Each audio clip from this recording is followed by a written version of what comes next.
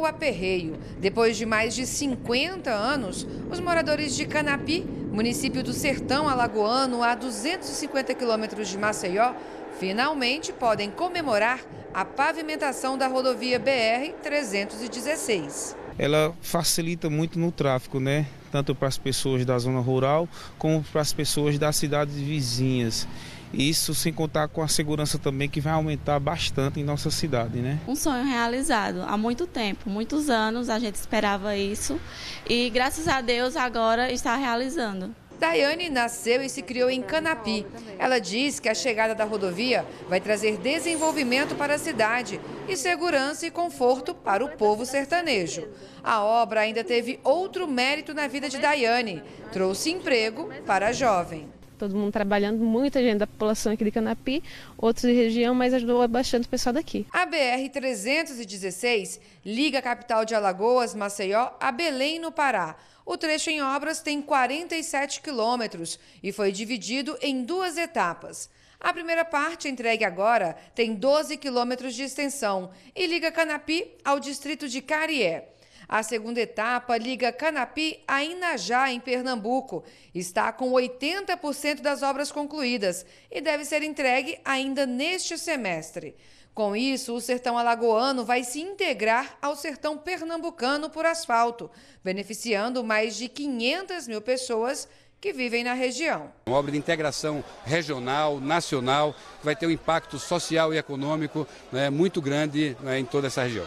Essa obra ministro Maurício Quintela, ela traz o sertão de Pernambuco ao sertão de Alagoas. O destino do sertão de Alagoas, aqui nos cânions de São Francisco, com essas belezas incomparáveis, como piranhas, como Olho d'Água do Casado, como Delmiro Gouveia, que tem aqui toda essa região e o turismo também religioso aqui em Mata Grande e aqui em toda essa região do sertão. O governo federal investiu 67 milhões de reais na rodovia.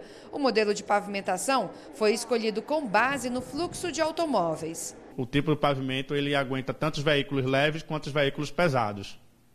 E é adequado para essa região? Ele é adequado para a região. A estrada tem sistema completo de drenagem, pontes com acostamento e acesso para pedestres, sinalização e uma novidade. Ao longo dos 47 quilômetros de rodovia, há sete pontes com passagem de fauna, como essa aqui.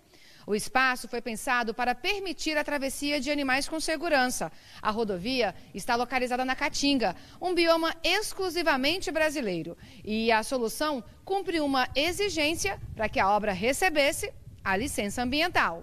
Foi feito um, um estudo prévio é, é, visando a, a preocupação assim e também o entendimento de onde esses animais ocorriam mais aqui na região. A pavimentação da BR-316 faz parte do programa Agora é Avançar, lançado pelo governo federal ano passado e que tem como objetivo retomar e concluir mais de 7 mil obras que ficaram pelo meio do caminho no Brasil. Metade dos projetos está na região Nordeste. O fato é, do Ministério do presidente Temer ter seis ministros do Nordeste. Então eu creio que é, essa presença político-administrativa tem contribuído muito para que nós possamos avançar no Nordeste. E aqui em Alagoas, o programa Avançar vai é, investir esse ano 1 bilhão e 400 milhões de reais em obras de todas as qualidades que serão concluídas, entregues à população nas diversas áreas, como esta estrada 316, que realiza os sonhos de 50 anos do povo alagoano.